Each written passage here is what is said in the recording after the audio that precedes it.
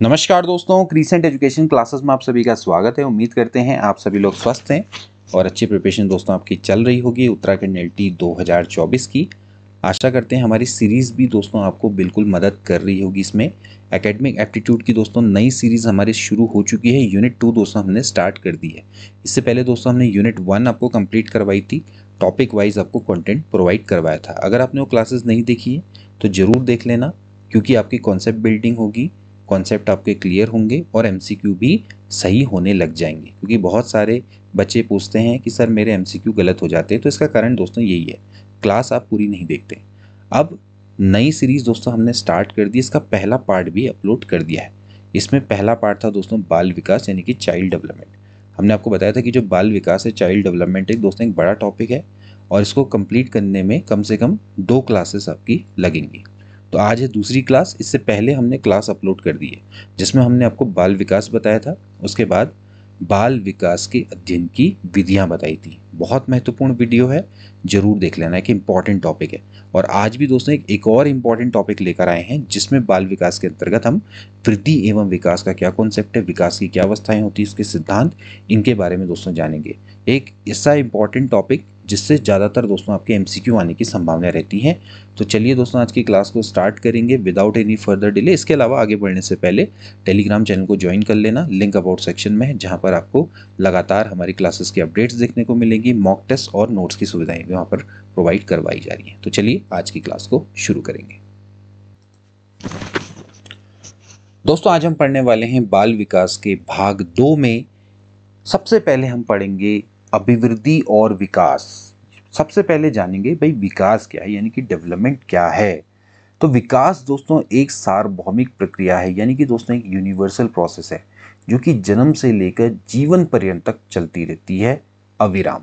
यानी कि कंटिन्यूसली दोस्तों चलती रहती है बर्थ से लेकर टिल डेथ विकास केवल शारीरिक वृद्धि की ओर को ही संकेत नहीं करता है, यानी कि विकास का संबंध केवल शारीरिक वृद्धि से ही नहीं है, बल्कि इसके अंतर्गत सभी शारीरिक, मानसिक, सामाजिक, संवेगात्मक परिवर्तन सम्मिलित होते हैं, जो कि गर्भकाल से लेकर मृत्यु पर्यंत तक निरंतर प्राणी में प्रकट होते रहते हैं। कई लोग विकास को केवल शारीरिक वृद्धि से ही संबंधित करते हैं, वो मानते हैं कि शरीर में जितनी वृद्धि है, वही आपका विकास है। लेकिन ये केवल इसका एक पार्ट है, विकास इससे कई ऊपर है। तो वृद्धि विकास का ही एक भाग है। शारीरिक वृद्धि की जब हम बात करते हैं तो वो विकास के अंतर्गत आती है, लेकिन अपने आप में संपूर्ण विकास नहीं है दोस्तों, ठीक? तो शारीरिक विकास भी एक विकास का ही भाग है, शारीरिक वृद्धि भी उसका एक भाग है। तो विकास के अंतर्गत सभी तरह के परिवर्तन आते हैं, चाहे वो शारीरिक हो, फ़िज़िकल हो, मेंटल हो, सोशल हो, इमोशनल चेंजेस हो, जो कि कंटिन्यूसली दोस्तों अपेयर होते रहते हैं। मनुष्य में जब तक कि वो उसकी मृत्यु नहीं हो जाती, यानी कि गर्भकाल से लेकर मृत्यु तक वो लगातार प्राणी में प्रकट होते रहते हैं। इसके अलावा विकास को दोस्तों हमेशा क्रमिक परिवर्तनों की श्रृंखला भी बोला जाता है, यानी कि सीरीज़ ऑफ़ ग्रेजुअल चेंजेस यहाँ पर आपको परिवर्तन है दोस्तों, एक सीक्वेंशियल प्रोसेस में देखने को मिलेंगे। यानी कि विकास हमेशा किसी ना किसी सीक्वेंस का दोस्तों अनुक्रम या उसका अनुसरण दोस्तों करता है। इसी के परिणाम स्वरूप व्यक्ति में नवीन विशेषताओं का हमेशा उदय होता है और पुरानी विशेषताओं की समाप्ति हो जाती है। यानी कि न्यू कैरेक्टरिस्टिक्स इसमें इमर्ज होती है और जो ओल्ड कैरेक्टरिस्टिक्स होती हैं, वो डिसपेयर हो जाती हैं। इसके अलावा जब व्यक्ति प्रौढ़ावस्था में पहुँचता है, जिन भी गुणों को उसमें पाया जाता है तो वे सभी विकास के कारण ही संभव होते हैं। यानी कि विकास की प्रक्रिया के ही वो रिज़ल्ट होते हैं, परिणाम होते हैं। तो विकास हमेशा क्या है? क्रमिक परिवर्तनों की श्रृंखला है। इसके अलावा अब हम जानेंगे विकास और अभिवृद्धि की जो महत्वपूर्ण डेफिनेशन है, जो अलग अलग मनोवैज्ञानिकों के द्वारा दी गई है, जिनका दोस्तों एग्ज़ाम में आने की संभावनाएँ बहुत रहती हैं।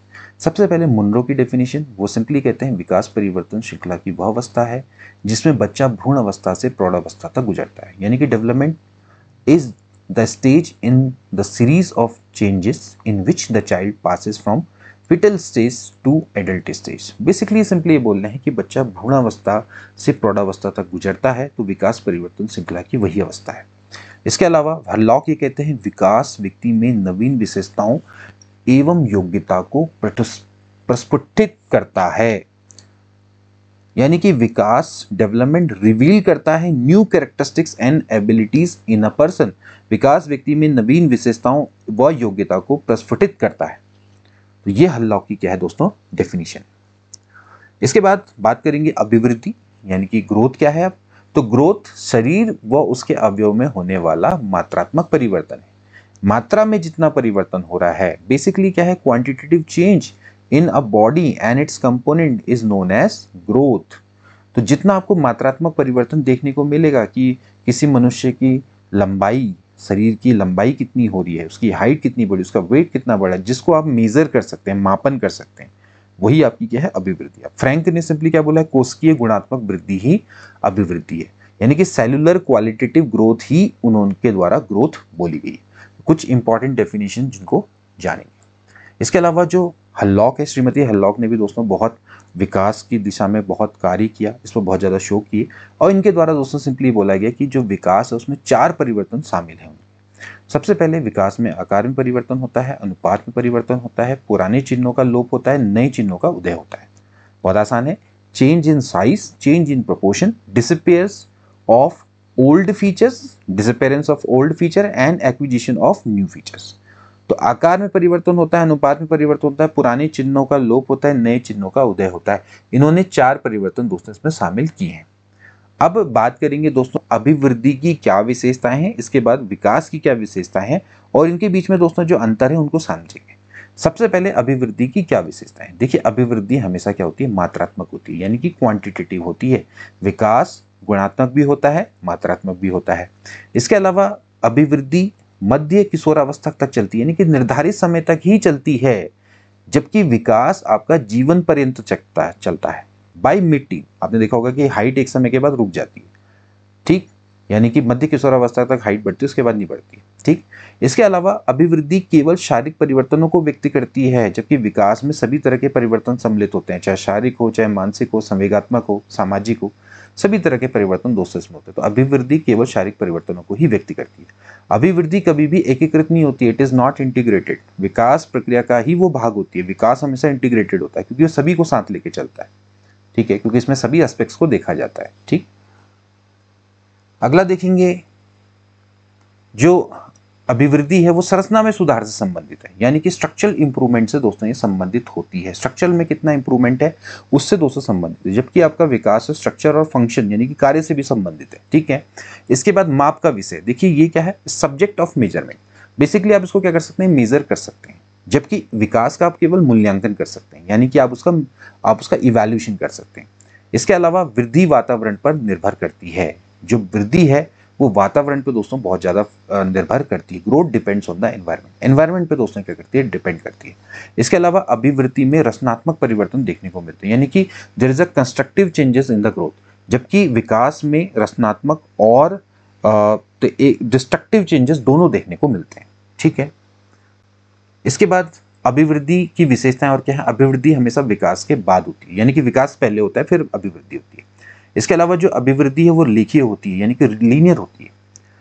और जबकि विकास दोस्तों क्या होता है, वो स्पाइरल होता है, ठीक? यानी कि रेखीय का मतलब है कि आप इसका जब ग्राफ खींचेंगे तो आपको स्ट्रेट लाइन देखने को मिलेगी, ठीक?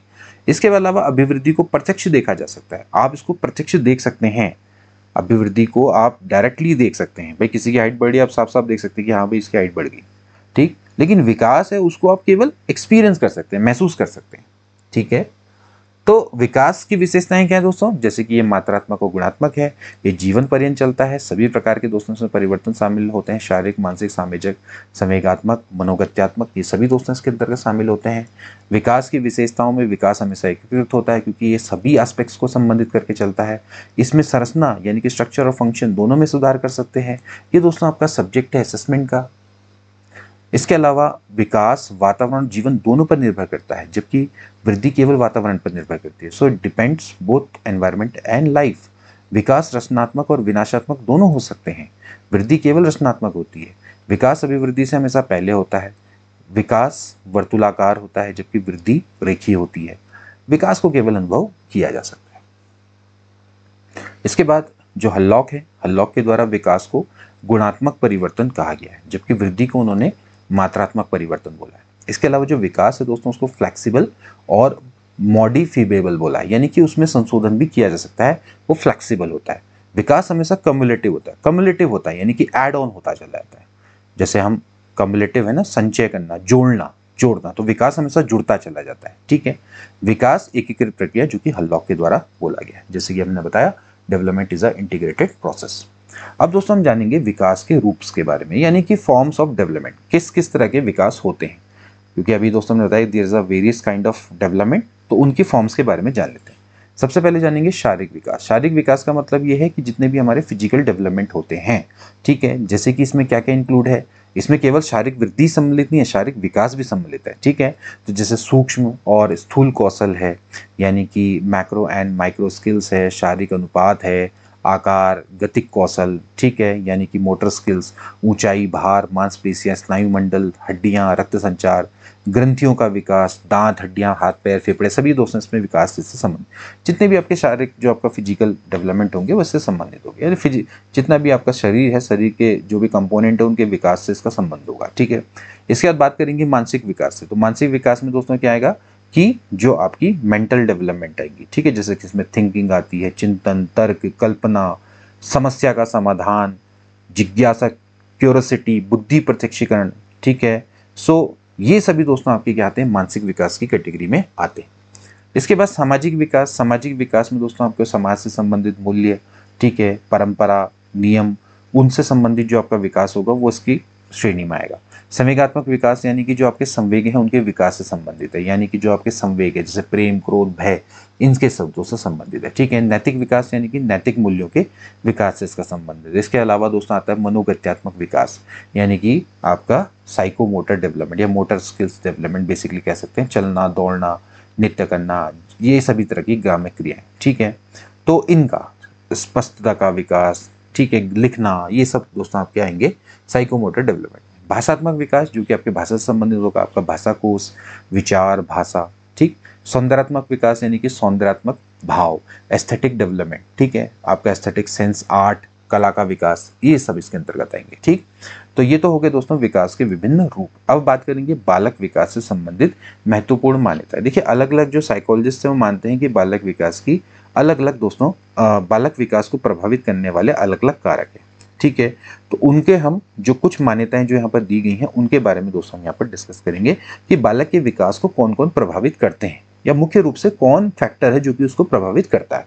तो देखिए, सबसे पहला है जैविक परिपक्वता की मान्यता जैविक परिपक्वता की मान्यता सिंपली ये कहती है, जिसके जो प्रतिपादक हैं वो है स्टेनले हॉल और गेसेल ये सिंपली बोलते हैं कि जो विकास है बेसिकली वो अनुवांशिकता से प्रभावित होता है, यानी कि heredity is a main component या main factor behind development okay so इस मान्यता के अनुसार विकास मुख्यतः अनुवंशिकता से प्रभावित होता है और जो व्यवहार है, यानी कि जो व्यवहार है, वो नेचुरल लॉक से क्या होता है डिटरमाइंड होता है। तो बेसिकली जो विकास है, वो बेसिकली आपकी हेरिडिटी से ज़्यादा इफ़ेक्ट होता है। अब व्यवहारवादी सिद्धांत है। व्यवहारवादी सिद्धांत के मान्यता वाले जो प्रमुख प्रतिपादक हैं, वो है J B Watson and B F Skinner ये मानते हैं कि दोस्तों, जो पर्यावरण के कारक हैं, वो बालक के विकास में सहायक है। यानी कि उनका ज़्यादा इफ़ेक्ट पड़ता है बालक के डेवलपमेंट में। यानी कि जो आपका एनवायरमेंट है, वो क्या है? बालक के विकास में सबसे ज़्यादा इफ़ेक्ट करता है। यानी कि विकास में इंद्रिय अनुभूतियों का गहरा प्रभाव पड़ता है। यानी कि जो सेंस एक्सपीरियंस है it has a deep impact on the development basically जो इंद्रिय अनुभूति का मतलब है जिनको हम देख रहे हैं, हमारे पर्यावरण में जो भी चीज़ें हैं, जो भी आप, जो भी, जिसको भी आप आप, जिस पर आपका गहरा प्रभाव पड़ रहा है, या फिर बेसिकली उनका आप पे प्रभाव पड़ रहा है, वही आपके विकास को भी प्रभावित करते हैं, ठीक? तो इंद्रिय अनुभूतों का गहरा यहाँ पर प्रभाव है, ठीक है? इसके बाद अगला आता है संज्ञानात्मक विकास संबंधी मान्यता, यानी कि कॉग्नेटिव डेवलपमेंट अब इसके प्रमुख प्रतिपादक हैं जीन प्याजे। ये मानते हैं कि भैया विकास को सर्वाधिक प्रभावित, उसकी मानसिक प्रक्रियाएँ करती हैं। तो डेवलपमेंट को सबसे ज़्यादा इन्फ्लुएंस करती हैं मेंटल एक्टिविटी ये मानते हैं मानसिक क्रियाएँ सबसे ज़्यादा विकास को प्रभावित करती हैं। इसके बाद अगला है सामाजिक, सांस्कृतिक विकास संबंधी मान्यता है ये लेव वायगोट्सकी का दोस्तों सिद्धांत है। ये एक तरह की नवीनतम विचारधारा है दोस्तों बाल मनोविज्ञान के क्षेत्र में। और ये सिंपली मानते हैं कि बाल विकास में सामाजिक और सांस्कृतिक कारकों की महत्वपूर्ण भूमिका है। तो सामाजिक और सांस्कृतिक कारक यहाँ पर ज़्यादा इंपॉर्टेंट रोल प्ले करते हैं इन डेवलपमेंट ऑफ़ चाइल्ड इसके बाद दोस्तों अगला आता है विकास के सिद्धांत। अब देखिए दोस्तों कई तरह के विकास के सिद्धांत है, उनके बारे में दोस्तों हम डिटेल में चर्चा करेंगे। सबसे पहले दोस्तों हम मानेंगे क्रमिक विकास का सिद्धांत। जैसे हमने पहले बोला कि विकास हमेशा क्या होता है? सिक्वेंशियल होता है और एक सिक्वेंस को हमेशा क्या करता है? फॉलो करता है। इसमें दो तरह के सिक्वेंस है जिसको आपने समझना है। मनुष्य के मामले में विकास की प्रक्रिया एक निश्चित मॉडल का दोस्तों हमेशा क्या करती है? अनुसरण करती है। सबसे पहला दोस्तों आता है सिर पुच्छीय दिशा, यानी कि मस्तादुकोमुखी सिद्धांत। या बेसिकली आप उसको बोलते हैं सिफेलोकॉडल सीक्वेंस सिफेलोकॉडल सीक्वेंस यानी सिंपली बोलता है कि पहले सिर का विकास होता है, फिर उसके बाद पैरों का विकास होता है। यानी कि विकास की दिशा हमेशा क्या होती है? सर से स्टार्ट होती है, फिर धड़ में और फिर उसके बाद नीचे को दोस्तों बढ़ता चला जाता है, ठीक? सो विकास हमेशा क्या होगा? सिर से स्टार्ट होगा, फिर पैर तक जाएगा, ठीक है? तो इसको इसलिए शीर्षगामी या फिर इसको आप अनुदैर्य या फिर लंबात्मक भी दोस्तों कह सकते हैं, या बेसिकली वर्टिकुलर और लॉन्गिट्यूडनल विकास भी इसको बोला जा सकता है। ठीक है?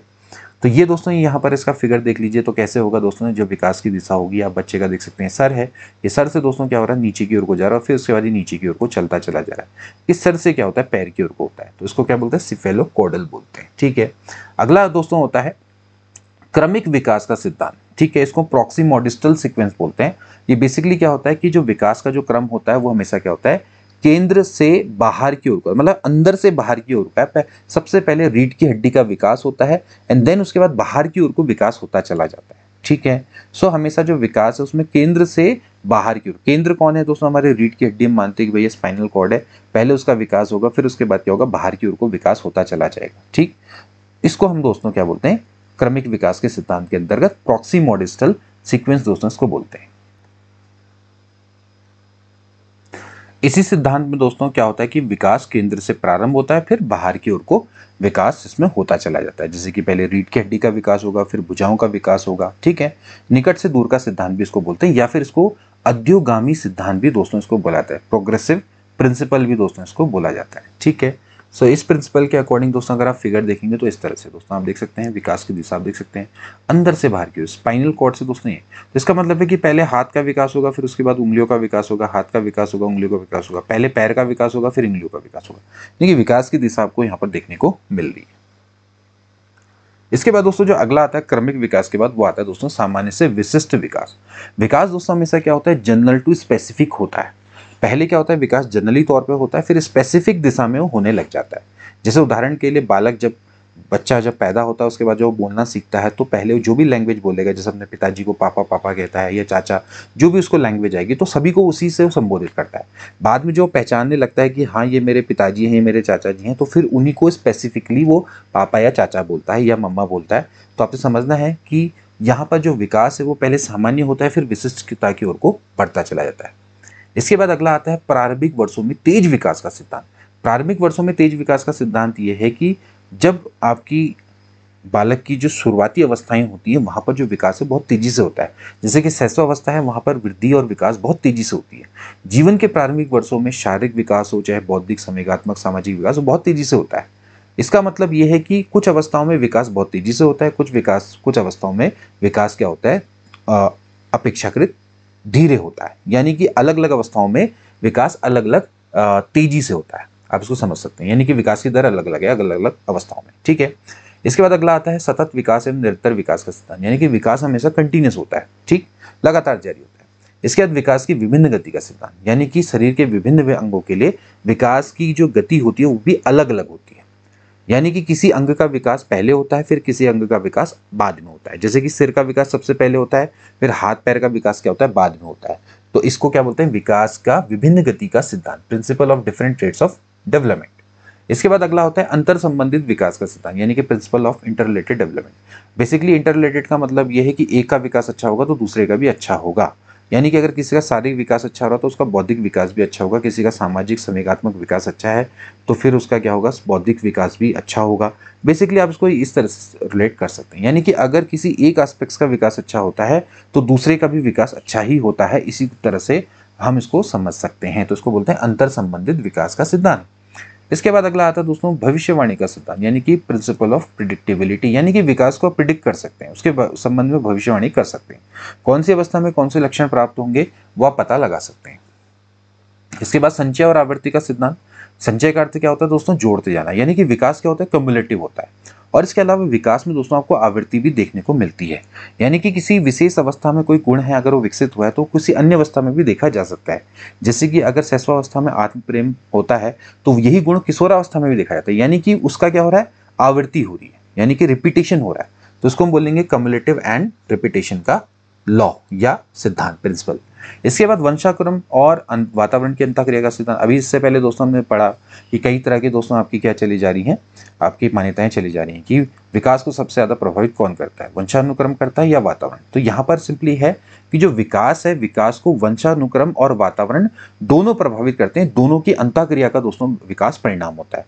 या बेसिकली आप सिंपली कहें कि जो प्रिंसिपल है जो विकास है it is the it is the result of interaction of heredity and environment यानी कि विकास वंशानुक्रम वातावरण दोनों के कारण होता है, और इसको दोस्तों वुडबर्थ के वाला द्वारा भी बोला गया है, विकास वंशानुक्रम और वातावरण दोनों की उपज है। अगला आएगा दोस्तों परिपक्वता एवं अधिगम की अंतक्रिया का सिद्धांत। बेसिकली ये सिद्धांत ये कहता है कि परिपक्वता और अधिगम आपस में इंट्रैक्शन करते हैं। यानी कि अगर कोई बालक है, अगर परिपक्व नहीं है तो फिर आप उसको कुछ चीज़ों में, विशेष चीज़ों में उसको आप अधिगम नहीं करवा सकते। जैसे आठ माह के बालक है, आप उसको तैरना नहीं सिखा सकते क्योंकि परिपक्व नहीं है। ठीक है? इसके बाद अद्वितीय विकास का सिद्धांत, या फिर इसको व्यक्तिगत विकास का सिद्धांत बोलते हैं, यानी कि जो आपका विकास होता है, वो यूनिक होता है। इंडिविजुअल डेवलपमेंट होता है। ठीक है? यानी कि अगर कोई व्यक्ति है, उसका विकास अलग होगा दूसरे व्यक्ति से। ठीक है? सभी व्यक्तियों में विकास कभी भी एक समान नहीं होता है।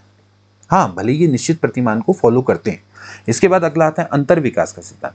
अंतर विकास का सिद्धांत का मतलब यह है कि जो बालक और बालिका में है, इनमें जो विकास होता है वो अलग अलग होता है। इनमें भेदात्मक विकास होता है। बेसिकली भेद करता है विकास, बालक और बालिका में। लड़कों की तुलना में लड़कियाँ क्या होती है? ज़्यादा परिपक्व और जल्दी परिपक्व होती हैं। ठीक? इसके बाद अगला है, वर्तुलाकार बनाम रेखीय प्रगति का सिद्धांत। बेसिकली ये कहता है कि जो वर्तुलाकार बनाम रेखीय प्रगति का सिद्धांत है, वो सिंपली ये कहता है कि जो विकास होता है, उसकी जो दशा होती है, वो हमेशा वर्ताल, वर्तालुकार होती है। मतलब कि स्पाइरल होती है।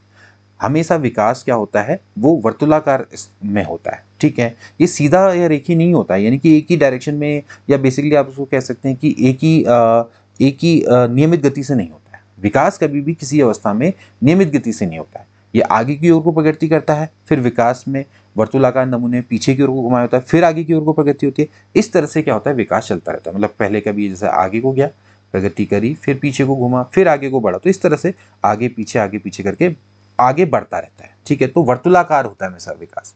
ठीक है? ऐसा नहीं कि स्ट्रेट लाइन से सीधे आगे को बढ़ गया, ठीक? तो ये आपने समझ इसके बाद अगला आता है एकीकरण का सिद्धांत। एकीकरण का मतलब है प्रिंसिपल ऑफ़ इंटीग्रेशन बेसिकली क्या होता है? संपूर्ण अंग का पहले विकास होता है, फिर अंग के भागों का विकास होता है, ठीक है? जैसे कि पहले पूरे हाथ का विकास होगा, फिर उसके बाद उंगलियों का विकास होगा, पूरे पाँव का विकास होगा, फिर उसके बाद उसकी उंगलियों का विकास होगा, ठीक है? फिर दोनों में क्या होता है? कोऑर्डिनेशन होता है। इसके बाद अगला आता है समान प्रतिमान का सिद्धांत। समान प्रतिमान का मतलब यह है कि एक समान प्रतिमान को विकास फॉलो करता है, एक सिमिलर मॉडल को फॉलो करता है। जैसे कि मनुष्य की जाति का विकास एक ही क्रम में होता है, हमेशा सिर से पैर की ओर को। तो ये मॉडल है, इसको ही क्या कर रहा है? फॉलो कर रहा है। हालाँकि अलग अलग मनुष्यों का विकास होगा, वो अलग अलग तरीके से होगा अलग अलग गति से होगा, लेकिन जो मॉडल है वो सेम वो है सिर से पैर। अब हम बात करेंगे दोस्तों बाल विकास की अवस्थाओं के बारे में। बाल विकास की जो अवस्थाएँ दोस्तों, बहुत इंपॉर्टेंट है। इन अवस्थाओं के बारे में अलग अलग मनोवैज्ञानिकों के द्वारा अलग अलग अवस्थाएँ दोस्तों दी गई हैं। इनके बारे में दोस्तों हम जानेंगे। तो सबसे पहले दोस्तों जानेंगे बाल विकास की अवस्थाएँ। देखिए, संपूर्ण मनोवैज्ञानिकों ने गर्भ धारण से लेकर जीवन को दस भागों में डिवाइड किया है। मुख्यतः तो पहले मुख्य वाला बताते हैं, फिर स्पेसिफिकली किस मनोवैज्ञानिक ने कौन सी अवस्था दी है, उनके बारे में बताएँगे। तो बाल विकास की क्या क्या अवस्थाएँ? सबसे पहला आता है दोस्तों पूर्व प्रसूति काल। पूर्व प्रसूति काल दोस्तों क्या होता है? गर्भ धारण से लेकर जन्म तक का जो समय होता है, इसको हम पूर्व प्रसूति काल बोलते हैं। ठीक है? अब ये भी तीन भागों में होता है। ठीक? बेसिकली जो पूर्व प्रसूति काल है, ये 270 से 280 दिनों तक चलता है। ठीक है? इसके अंतर्गत दोस्तों आपके आते हैं एक बीजावस्था। एक आती है भ्रूणावस्था, एक आती है गर्भावस्था। ठीक है तो बीजावस्था क्या होती है? दो सप्ताह तक चलती है, भ्रूणावस्था भी आपकी दो सप्ताह से दो माह तक चलती है, फिर गर्भावस्था दो माह से लेकर जन्म तक दोस्तों चलती है। तो तीन स्टेजेस दोस्तों आपकी पूर्व प्रसूति काल के अंतर्गत आती है। ठीक है, अब जान लेते हैं थोड़ा सा गर्भावस्था के बारे में इसमें, जो गर्भस्थ काल बोलते हैं। ठीक है, जो कि आपका दो माह से लेके जन्म तक चलता है। तो इसमें तीन माह तक जो हाथ होते हैं, वो पैरों की अपेक्षाकृत लंबे होते हैं। ठीक है चार माह में धड़कन को आप सुन सकते हैं बच्चे की। पाँच माह में जो आंतरिक अंग है, वो कार्य करना स्टार्ट कर देते हैं। और वो लंबाई इनमें दस इंच तक हो सकती है। फिर इसमें सिर का विकास होता है छः माह तक बहुत तेज गति से। इसके अलावा स्पर्श, संवेदना, नाक एवं मुँह का सबसे पहले यहाँ पर विकास होता है। ठीक है? अच्छा अब इसके अलावा जो गर्भस्थ बालक है, उनकी क्रियाओं को हम फिटल एक्टिविटीज़ बोलते हैं। फिटल एक्टिविटीज़ ठीक है? तो दो माह से लेकर जन्म तक का जो काल होगा, उसको दोस्तों क्या बोलेंगे? गर्भस्थ काल करेंगे। पूर्व प्रसूति काल के अंतर्गत दोस्तों आता है, ठीक है? इसको हम हाथ पैरों की स्वतः क्रियाएँ व गति होना से संबंधित समझ सकते हैं, ठीक? इसके अलावा दोस्तों मॉन्टेग्यू मॉन्टेग्यू यानी कि जिन बाल शिशुओं का जन्म जितनी सरलता से होता है, वह जन्म के बाद के वातावरण में उतनी ही शीघ्र और अच्छी तरह से समायोजित कर लेते हैं। इसके बाद दोस्तों अगली जो अवस्था आती है, वो आती है सहस्वावस्था। सहस्वावस्था क्या होती है दोस्तों? जन्म से लेके दो वर्ष तक की अवस्था। अब इसमें भी भेद है। कई मनोवैज्ञानिक ये मानते हैं कि सहस्वावस्था जन्म से लेके 10 से लेके 14 दिन तक होती है। लेकिन ज़्यादातर लोग मानते हैं कि जन्म से लेके दो वर्ष तक की अब जो मनोवैज्ञानिक इसको जन्म से लेके 10 से 14 दिन की अवस्था मानते हैं तो फिर वो 14 दिन से लेके दो वर्ष की अवस्था को बचपन अवस्था बोलते हैं। ठीक है? तो जो अगर इसको नहीं मानेंगे तो उनके लिए सहस्वावस्था, बचपन अवस्था एक ही है। और जो मनोवैज्ञानिक इसको अलग अलग मान रहे हैं तो फिर उनके लिए सहस्वावस्था और बचपन अवस्था अलग अलग है। तो सामान्यतः सभी ने इसी को स्वीकार किया, लेकिन हम बात करेंगे कि भैया सहस्वावस्था है, वो जन्म के से लेकर 10 से 14 दिन तक की अवस्था है। अब बचपन अवस्था की बात करेंगे तो बचपन अवस्था क्या क्या है? जो कि सस्वावस्था को जन्म से 14 दिन तक मानते हैं। तो ये बेसिकली क्या होगी? 14 दिन का मतलब हो गया दो सप्ताह से लेकर दो वर्ष तक की जो अवस्था होती है, उसको हम बचपन अवस्था कहते हैं। ठीक है? इसके बाद दोस्तों अगली आती है बाल्यावस्था। बाल्यावस्था क्या होती है दोस्तों आपकी? जो कि तीन वर्ष से लेकर दस से बारह वर्ष तक की चलती है। उसको हम बाल्यावस्था बोलते हैं। ठीक है? अब बालिकाओं में दोस्तों ये चलती है दस वर्ष तक, तीन से दस वर्ष तक। बालक में चलती है तीन से लेकर बारह वर्ष तक। ठीक है? तो बालिकाएँ तीन से लेकर दस वर्ष तक आ, मतलब आ, उनकी बाल्यावस्था चलती है और बालकों में तीन से लेकर बारह वर्ष तक ठीक है? अब इसको भी दो भागों में डिवाइड कर सकते हैं। एक होती है प्रारंभिक बाल्यावस्था एक होती है उत्तर बाल्यावस्था। प्रारंभिक बाल्यावस्था क्या होती है दोस्तों? वो चलती है तीन से लेकर छह वर्ष तक। तीन से लेकर छह वर्ष तक की अवस्था होती है दोस्तों जिसको हम बोलते हैं अर्ली चाइल्डहुड इसमें दोस्तों आपका जैसे जिज्ञासा सृजनशीलता अनुकरण ये आपका स्टार्ट हो जाता है। क्यूरियोसिटी क्रिएटिविटी इमिटेशन दोस्तों आपका क्या होता है, इसमें स्टार्ट होता है। इसके अलावा और क्या क्या चीज़ें हैं दोस्तों, इसकी खासियत क्या है? सोशल लर्निंग इमिटेशन ये आपका बिगिन हो जाता है, सामाजिक अधिगम, अनुकरण। भाषा कौशल का इसमें विकास होता है, नए दोस्त बनाने की यहाँ पर शुरुआत होती है, ठीक है? इसके बाद दोस्तों अगली आती है उत्तर बाल्य अवस्था उत्तर बाल्य अवस्था का मतलब है छः से लेके दस वर्ष तक की दोस्तों अवस्था होती है, जो कि बालिकाओं में, और छः से लेके बारह तक की होती है, वो भी बालकों में। इसके बाद अगली आती है दोस्तों आपकी तरुणावस्था। ठीक है, या प्री एडलोसेंस भी इसको बोलते हैं प्राक किशोरावस्था बालिकाओं में दोस्तों ये चलती है ग्यारह से लेकर तेरह वर्ष तक, बालक में बारह से लेकर चौदह वर्ष तक। इसके बाद दोस्तों अगली आती है प्रारंभिक किशोरावस्था प्रारंभिक किशोर यानी कि अर्ली एडलोसेंस तो ये तेरह से चौदह वर्ष पर, तेरह चौदह वर्ष से लेकर सत्रह वर्ष तक दोस्तों चलती है और इसमें शारीरिक और मानसिक विकास क्या होता है? अधिकतम होता है। प्रारंभिक किशोरावस्था ठीक? इसके बाद अगली आती है दोस्तों लेटर एडलोसेंस यानी कि परवर्ती किशोरावस्था ये सत्रह से उन्नीस बीस वर्ष तक चलती है। ठीक है, बालिका हो चाहे बालिका हो, दोनों में एक ही है हिसाब किताब, ठीक? तो यहाँ पर दोस्तों क्या होता है, बालक शारीरिक और मानसिक रूप से स्वतंत्र होना चाहते हैं, ठीक है?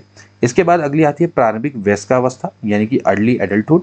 तो ये चलती है आपकी 21 से लेके 40 वर्ष तक की अवस्था 21 से लेके 40 वर्ष तक की। इसके बाद फिर आती है मध्य अवस्था वो चलती है चार से लेके 60 वर्ष तक। फिर छठी अवस्था बुढ़ापा जो कि 60 वर्ष से लेके मृत्यु तक दोस्तों आपकी चलती है। तो ये आपकी दोस्तों क्या है कुछ अवस्थाएँ। अब अन्य विद्वानों के अनुसार कुछ अवस्थाएँ जिसके बारे में जान लेते हैं। सबसे पहले दोस्तों बात करेंगे कोल के अनुसार विकास की अवस्थाएँ। कोल ने क्या क्या दी है? देखिए, सबसे पहले वो मानते हैं जन्म अवस्था। वो मानते हैं ज़ीरो से लेके दो वर्ष। प्रारंभिक बाल्य अवस्था मानते हैं दो से लेके पाँच वर्ष। मध्य बाल्य अवस्था, ये मानते हैं बालक के लिए अलग है, बालिका के लिए अलग है छः से बारह और छः से दस। बहुत आसान है। इसके बाद अगला देखेंगे पूर्व किशोरावस्था, यानी कि प्री एडलोसेंस बालक में मानते हैं तेरह से लेकर चौदह बालिका में 11 से लेके 12 ठीक है? फिर इसके बाद प्रारंभिक किशोरावस्था, यानी कि अर्ली एडली एडलोसेंस ये बालक में मानते हैं 15 से लेके 16 और गर्ल्स में मानते हैं 12 से लेके 14 फिर इसके बाद ये मानते हैं मिडिल एडलोसेंस यानी कि मध्य किशोरावस्था। बालक में 17 से 18 बालिका में 15 से 17 उत्तर किशोरावस्था, बालक में 19 से 20 और फिर बालिका में 18 से 20 यानी कि उत्तर किशोरावस्था दोनों बराबर लास्ट में दोनों के 20 20 ठीक? इसके बाद प्रारंभिक प्रौढ़ावस्था, ये कॉमन है सबके लिए 21 से 34 मध्य प्रौढ़ावस्था 35 से उनचास, और उत्तर प्रौढ़ावस्था 50 से चौंसठ। ठीक है? इसके अलावा प्रारंभिक वृद्धावस्था, वो मानते हैं पैंसठ से चौहत्तर, वृद्धावस्था पिछहत्तर वर्ष से लगातार। ठीक है? तो ये दोस्तों आपकी क्या है? कोल के अनुसार विकास की अवस्थाएँ। अब हम दोस्तों बात करेंगे कुछ सामान्य वर्गीकरण की। वैसे सामान्य वर्गीकरण दोस्तों मैं आपको बता चुका हूँ, वही दोस्तों हैं, लेकिन हम इसमें जो इम्पोर्टेंट जो दिए गए हैं वर्गीकरण, उनके बारे में थोड़ा सा जानेंगे। सबसे पहले देखिए, देखेंगे दोस्तों, जैसे सेले सेले ने क्या वर्गीकरण दी उन्होंने बोला, शैशवावस्था होती है ज़ीरो से लेकर पाँच वर्ष तक, बाल्यावस्था होती है छः से बारह, किशोरावस्था मानी बारह से अठारह। इसके अलावा रॉस रॉस मानते हैं शैशवावस्था एक से लेकर तीन वर्ष, पूर्व बाल्यावस्था मान रहे तीन से छः उत्तर बाल्यावस्था छः से बारह और किशोरावस्था बारह से अठारह। ध्यान रखना कि सामान्य वर्गीकरण में केवल किशोरावस्था तक ही देखेंगे। इसके अलावा हल्लॉक है, हल्लॉक मानते हैं गर्भावस्था गर्भधान से लेकर जन्म तक, फिर शैशवावस्था बोलते हैं, जन्म से लेकर दो सप्ताह तक। अब ये बचपनावस्था मानेंगे, तीसरे सप्ताह से लेकर दो वर्ष तक, पूरी बाल्यावस्था तीन से लेकर छः वर्ष तक। इसके बाद उत्तर बाल्यावस्था, यहाँ पर आ जाएगी सात वर्ष से लेकर बारह वर्ष तक। फिर दोस्तों, इसमें आपका आएगा वय संधि। वय संधि यानी कि 12 से लेकर चौदह वर्ष तक, ठीक है? फिर प्री एडलोसेंस 13 से 14 मतलब 13 14 से लेकर सत्रह वर्ष तक, उत्तर किशोरावस्था 18 से लेकर इक्कीस वर्ष तक। इसके अलावा प्रौढ़ावस्था 21 से लेकर 40 वर्ष, मध्यावस्था 41 से 60 वृद्धावस्था 60 वर्ष के बाद। तो हल्लॉक का आप देख सकते हैं, सभी का मिला जुला लोग है। अन्य जोन से वो मानते हैं सैसवा, सैसव काल, पाँच, जन्म से पाँच ही सप्ताह, फिर बाल्यावस्था में बोलते हैं छः से लेके बारह वर्ष तक, ठीक है? किशोरावस्था बोलते हैं बारह से अट्ठारह प्रौढ़ावस्था अठारह वर्ष के बाद। इसके अलावा दोस्तों, कॉलसनिक है। कॉलसनिक का इंपॉर्टेंट है दोस्तों, जिससे कि इन्होंने बोला है गर्भदान से लेके जन्म तक। जन्म पूर्व काल, ठीक? इसके बाद सैसव काल, जन्म से तीन चार सप्ताह तक का सैसव काल माना आरंभिक सैसव काल इन्होंने बोला है कि एक माह से लेके पंद्रह माह तक, ठीक? इसके बाद इन्होंने बोला है उत्तर शैशव काल, यानी कि पंद्रह माह से लेकर तीस माह। तो ये आप देख सकते हैं फ्रॉम कंसेप्शन टू बर्थ ठीक? Infancy early infancy late infancy इनके द्वारा कॉल्सनिक का वर्गीकरण। इसके बाद फिर दोस्तों पूरे बाल्यावस्था, ये बोलते हैं ढाई वर्ष से लेकर पाँच वर्ष तक। मध्य बाल्यावस्था पाँच वर्ष से लेके नौ वर्ष तक। उत्तर बाल्यावस्था नौ वर्ष से लेके बारह वर्ष तक, किशोरावस्था बारह से लेके पंद्रह वर्ष तक। उत्तर किशोरावस्था फिर बोलते हैं पंद्रह से लेके इक्कीस वर्ष तक। तो दोस्तों, यहाँ पर आप देख सकते हैं कि कैसे कैसे इनके द्वारा वर्गीकरण किया गया। अब दोस्तों, ये रिचर्ड बर्नेट है। इसके अनुसार मनोवैज्ञानिक विकास की अवस्था का वर्गीकरण सात अवस्थाओं में दोस्तों किया गया है। इसके बारे में थोड़ा सा डिटेल में जान लेते हैं। तो दोस्तों, रिचर्ड बरेट के अनुसार मनोवैज्ञानिक विकास की अवस्थाएँ कौन कौन सी बताई गई हैं, उसको दोस्तों हमने यहाँ पर लिखा है, लेफ़्ट साइड में। आप देख सकते हैं मनोवैज्ञानिक विकास के दोस्तों इन्होंने सेवन स्टेजेस बताई हैं, और उनकी समयावधि बताई है, उनकी प्रमुख विशेषताएँ, और उनकी, वहाँ पर जो मूल्य है, उनकी प्रमुख प्रमुखता, जो इसमें मूल्य होते हैं, प्रमुख, जो प्रमुख तरह से जो दोस्तों आपकी प्राइमरी वैल्यूज़ होती है, उनके बारे में दोस्तों यहाँ पर बताया गया ठीक है, सबसे पहले, मनोवैज्ञानिक विकास की अवस्थाएँ में सबसे पहले दोस्तों इनके द्वारा है दी गई जीवित अवस्था, यानी कि सर्वाइविंग स्टेज सर्वाइविंग स्टेज क्या होती है दोस्तों? वो होती है जन्म से लेकर दो वर्ष तक। जन्म से लेकर दो वर्ष तक इसमें प्रमुख विशेषताएँ क्या होती है? मनोदैहिक आवश्यकताओं की प्राप्ति के लिए प्रयास करना, जिससे वह अपने आप को जीवित व स्वस्थ रख सके। ये इसमें क्या होती है? मनुष्य की आपकी प्रमुख आवश्यकता होती है कि मनोदैहिक आवश्यकताओं की प्राप्ति के लिए प्रयास किया जाता है, ठीक है? जिससे कि अपने आप को जीवित व स्वस्थ रख सके। तो ये क्या होती है? अस्तित्व परक होती है। इसमें मूल्य क्या होगा? एक्सिस्टेंस अपने अस्तित्व को बनाए ठीक है? फिर अगला आता है दोस्तों मनोवैज्ञानिक विकास की अवस्थाओं में समनुरूपता, ठीक है? यानी कि कन्फर्मिंग स्टेज कन्फर्मिंग स्टेज दोस्तों आपकी होती है दो से लेकर आठ वर्ष। कन्फर्मिंग स्टेज में दोस्तों क्या करता है कि आप कन्फर्म करना समझते हैं मतलब कि आप कन्फर्म कर कर पाते हैं, ठीक है? या समनुरूपता आप ला पाते हैं। जैसे कि अपने परिवार, परिचित और समुदाय के पास रहना, जहाँ आप अपने आप को सुरक्षित और संरक्षित महसूस करें। To live near his family ठीक है? तो बेसिकली आप क्या कर पा रहे हैं कि कंफर्म कर पा रहे हैं कि यस ये वो लोग हैं जिनके साथ मैं सुरक्षित और सुरक्षित रहेंगे। यानी कि निर्भत्व या सुरक्षा की भावना फेयरलेस एंड सिक्योरिटी इसके बाद अगली आती है दोस्तों विभेद अवस्था, यानी कि डिफ्रेंशिएशन एज तो ये आठ से लेकर चौबीस वर्ष तक की दोस्तों अवस्था होती है। तो इसमें अपने कौशल और प्रतिभा का विकास व प्रदर्शन किसी विशेष समूह का अंश बनने हेतु करना। यानी कि आप किसी विशेष कौशल और प्रतिभा का विकास आप कर रहे हैं या प्रदर्शन कर रहे हैं, ताकि आप किसी विशेष पर्टिकुलर ग्रुप का आप अंश बन सके या उसका पार्ट बन सके। तो इसमें आपका ट्रस्ट एंड इडिसेंट ठीक है, ये आपके आता है मूल्य की प्रमुखता। यानी कि इसमें ये मूल्य रहते हैं। अगला आता है दोस्तों आपका अविभाज्य अवस्था, यानी कि इंडिविजुअल स्टेज ये आपके दोस्तों रहती है 25 से लेकर उनचालीस वर्ष तक। इसमें आप अपनी पहचान को स्थापित करना चाहते हैं और विश्वास और मूल्यांकन पर आधारित जीवन जीना तथा अपने आप को साधन संपन्न बनाना, ये इसकी प्रमुख विशेषता है। इसमें स्वतंत्रता मूल्य प्रमुख है। अगला आता है दोस्तों आत्म सक्रियता यानी कि सेल्फ एक्चुअलाइजिंग ठीक है, ये 40 से लेके उनचास वर्ष तक की अवस्था है। इसमें अपनी प्रतिभाओं, योग्यताओं को अभिव्यक्त करना, स्वयं को पूर्ण संसाधन व साधन युक्त बनाना, ये आपका किसके अंतर्गत आता है? ये आपका आत्म सक्रियता के अंतर्गत है। तो उसमें सत्यनिष्ठा इंटीग्रिटी ठीक है, ये सब इसके गुण है। इसके बाद अगला आता है एकीकरण अवस्था। यानी कि दोस्तों ये होती है पचास से लेके उनसठ साल तक। तो इसको हम क्या बोलते हैं? एकीकरण अवस्था बोलते हैं। ठीक है? इसमें उन लोगों के प्रति सहयोग का भाव होना जो आचार, विचार व मूल्य रखते हैं। तो ये अभिधान या सहयोग के अंतर्गत आएगा। तो उन लोगों के प्रति सहयोग का भाव होना जो समान आचार विचार व मूल्य रखते हैं तो ये इसमें सहयोग क्या है? मूल्य है। ठीक है? अगला आता है सेवारत अवस्था। सेवारत अवस्था का अर्थ यह है, जो कि सातवीं अवस्था है, जो 60 प्लस वर्ष तक चलती है। इसमें मानवता और प्रकृति के कल्याण हेतु कार्य व चिंतन युक्ति, ये आती है।